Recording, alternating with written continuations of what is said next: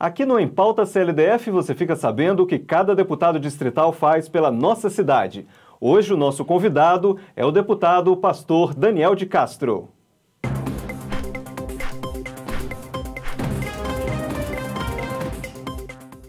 Obrigado, deputado, mais uma vez pela sua presença. Uma oportunidade da população conhecer um pouco mais o senhor e o trabalho que é feito aqui nesta casa. Eu que agradeço. Para nós sempre é uma oportunidade, oportunidade grande se reportar uhum. os eleitores e os moradores é. do Distrito Federal. Por isso eu quero, mais uma vez, parabenizar a TV Câmara Legislativa por essa oportunidade. Obrigado, deputado. Estamos sempre aqui de portas abertas aos deputados e à população também.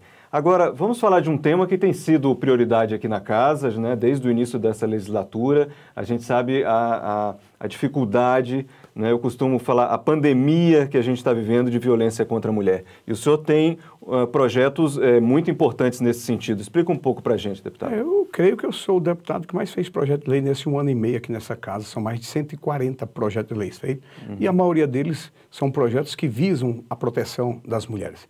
Que tempo difícil nós estamos vivendo. Conseguimos baixar os índices né, do é. primeiro do ano anterior para o ano passado, mas voltou uma certa curva. Hoje mesmo nós tivemos mais um feminicídio. Né?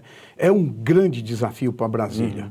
É, e aí é o desafio de todos nós, mas especialmente o que nós temos feito e falado, é um desafio para os homens, porque o maior é. protetor da mulher tem que ser o homem. É, é o marido, é o, o, namorado, é o amigo, é aquele que tem um relacionamento, a comunidade como um todo. Nós precisamos sair dessa página negativa.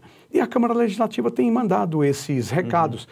até para mostrar que a gente está firme no combate a qualquer tipo de agressão contra a mulher. A gente tem dado todo o destaque às quatro mulheres que nós temos nessa casa, elas dirigindo sessões, vários projetos de lei. Nós paramos aqui no mês de maio para fazer projetos de lei só que sejam direcionados para a proteção da mulher. E nós estamos esse recado.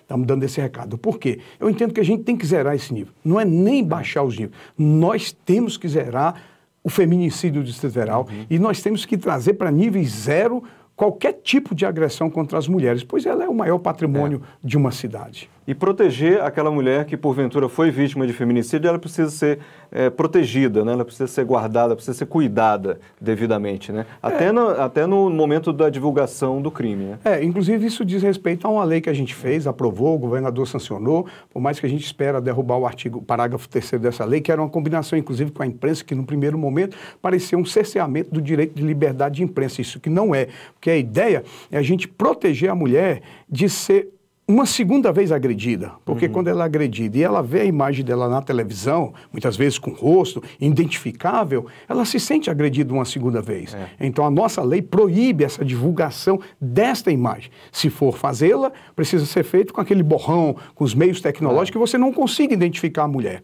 E em contrapartida, identificar o, o agressor. Identificar uhum. esse, esse não, é, não é homem, isso é um canalha, o cara que agride uma mulher. Identificar esse canalha para que a população saiba quem é, com a, o rosto dele, com a imagem dele. Fiz um outro projeto que esses agressores tenham as suas fotos divulgadas na conta de água, conta de luz.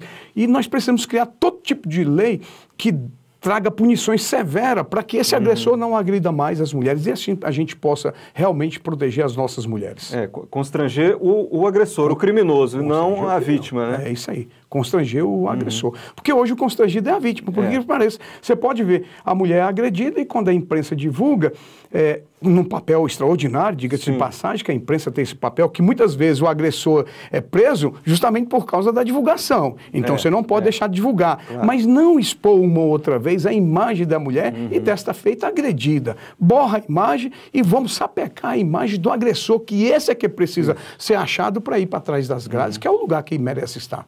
Agora, a, nosso tempo já está acabando, mas vamos falar rapidamente, deputado, de outro é, projeto que foi bastante polêmico aqui na casa e na imprensa também repercutiu muito, que é do orgulho é, heterossexual. É, é isso? É. Explica um pouco é, para a gente. Isso foi um projeto muito polêmico, foi algo que estava no meu coração. Eu acho assim, a gente não precisava de muitas leis, não, se a gente uhum. obedecesse todo o compêndio de leis que nós temos. Né? Mas a verdade é, tem uma minoria que tem seus direitos e nós defendemos que eles lutam pelos seus direitos. Só que eles estão lutando tanto pelos direitos deles e invadindo os nossos direitos. A gente não tem mais direito de falar uhum. nada. O heterossexual, às vezes, até para se expressar no meio público, ele tem que ter cuidado, né? Eu tenho muitos amigos que falaram que foram vítimas de, de discriminação. Então, assim, para que isso seja igual, balizado, e a minoria tem o seu direito de fazer o seu dia de orgulho, nós também queremos dizer que a parte heterossexual dessa cidade, da família, da família tradicional, nós também temos direito. E esse direito não pode ser suprimido nós. E apoiamos que eles lutem por todos os seus direitos, mas desde que não suprima o nosso uhum. direito. Foi feita essa lei, ela está tramitando na casa, ela deu. É um projeto, né? É um projeto de lei, vai, vai, vai, vai tramitar, na casa, mas eu, tô com, eu já estou procurando os deputados, já estou conversando é. nas comissões para que a gente possa aprovar e a gente possa ter o terceiro domingo de dezembro ir para a rua comemorar o orgulho de ser heterossexual. Porque hoje está parecendo assim: a outra comunidade tem orgulho e é. pode manifestar, a gente tem orgulho, mas tem que ficar quieto, calado. Nós, nós vamos para rua. E nós vamos colocar milhões de pessoas pessoas na rua, porque tem um deputado federal que está replicando, isso vai criar uma lei também nacional. Tá bom. A gente vai acompanhar, é claro, aqui na programação da TV Câmara Distrital, a gente está sempre acompanhando o desenrolar desses projetos, né, todo o processo é, legislativo, que às vezes ele é, demora um pouco, mas é importante né, todas essas instâncias de discussão para a é... população, para você de casa também conhecer de perto cada tema e conseguir participar. Obrigado, obrigado. É verdade. E eu quero colocar aqui, ó, entra nas minhas páginas, arroba pastor Daniel de Castro, lá você vai ver. São 146 projetos de leis feito em um ano e meio de mandato. Uhum. Né? Para quê? Eu tenho, agora mesmo, eu, eu, eu soltei nas minhas redes sociais. Você quer participar do mandato? Tem algum interesse?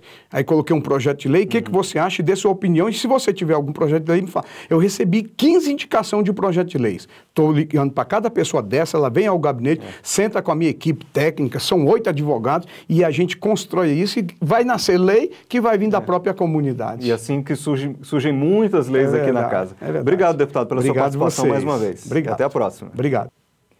E o Em Pauta fica por aqui. Aqui na TV Câmara Distrital você acompanha o que a CLDF faz pela nossa cidade. Até o próximo encontro e fique com a gente!